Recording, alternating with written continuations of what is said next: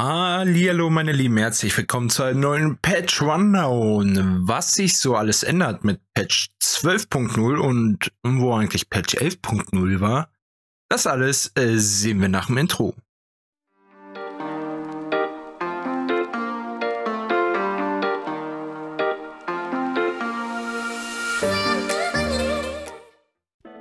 Und damit willkommen zurück zum Patch Rundown für Patch 12.0 und wem aufgefallen sein wird, ich habe das letzte Patch Rundown Video gemacht für Patch 10.0.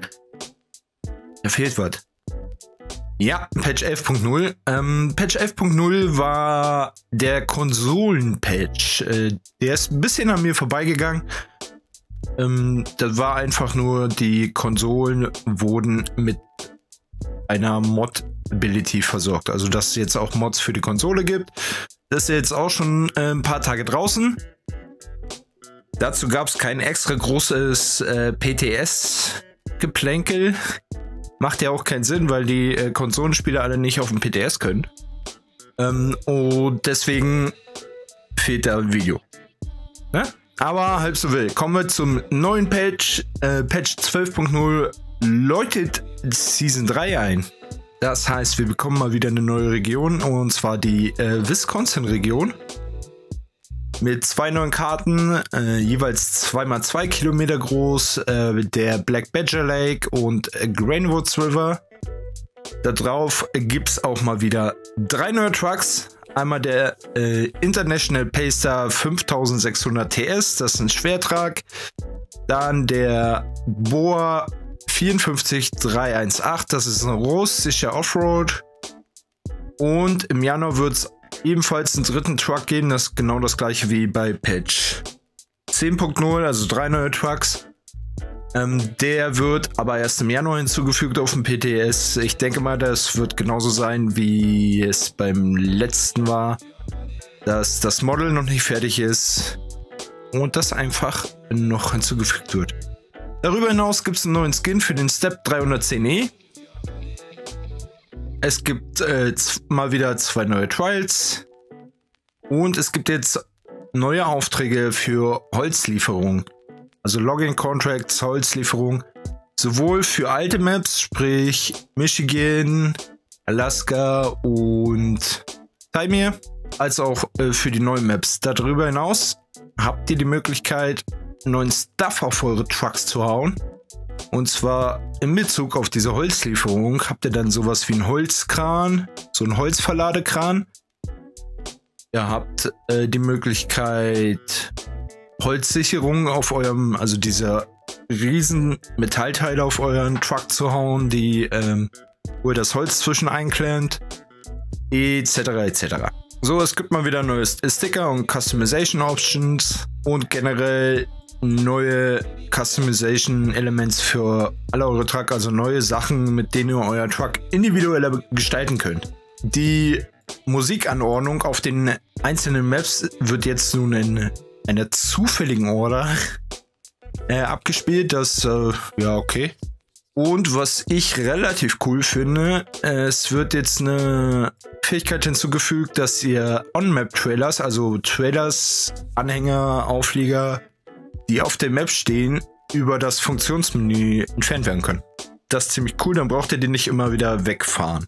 Gut, äh, ein Haufen Bugfixes, die zum Beispiel ähm, dass äh, Starting Engine, also der Motor startet, angezeigt wird, ähm, wenn ein Spieler versucht, einen anderen Spieler abzuschleppen, obwohl der Motor eigentlich aus ist. Dann das zählt aber nicht als, äh, als Bugfix. Es wird äh, Ölflecken jetzt im Wasser geben, wenn ihr mit einem Truck drin seid. Das finde ich ziemlich cool. Das ist aber auch eher ein Quality of Life Improvement.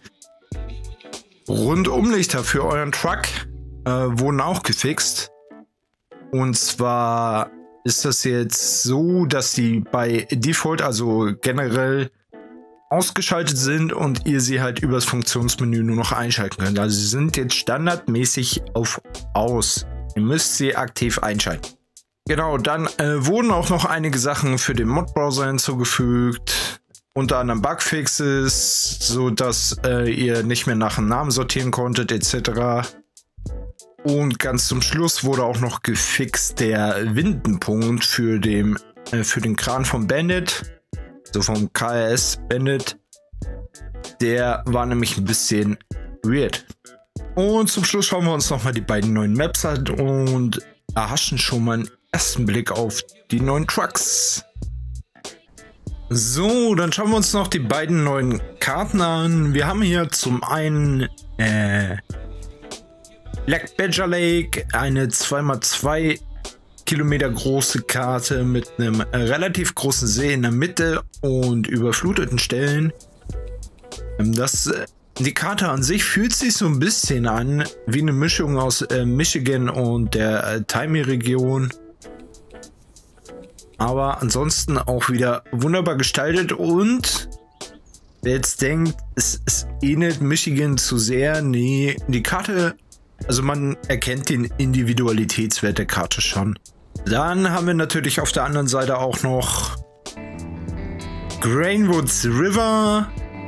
Ebenfalls eine 2x2 Kilometer große Karte mit einem Hauptfluss in der Mitte, der auch wieder ein bisschen für Überflutungen sorgt. Und das, die Karte erinnert mich persönlich äh, sehr stark an äh, Smithfield Talsperre.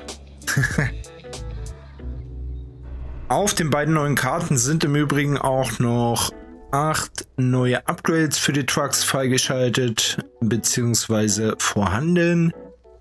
Das heißt, die sind primär für die beiden neuen Fahrzeuge.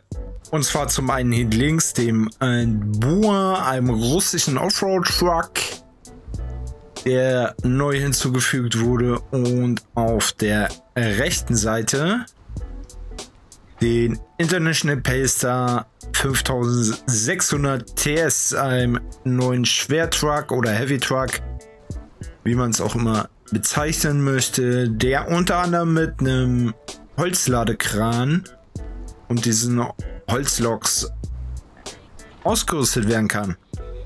Gut, das soll es auch schon gewesen sein zu den neuen Patch für die Fahrzeuge machen Video, sobald das letzte Fahrzeug auch vorhanden ist. Und ich hoffe, ich konnte euch mit dem Video ein bisschen weiterhelfen. Kleinen Überblick gegen über Patch 12.0 und damit der Phase 3. Habt noch einen schönen Tag. Haut rein. Bis dann. Tschüss. tschüss.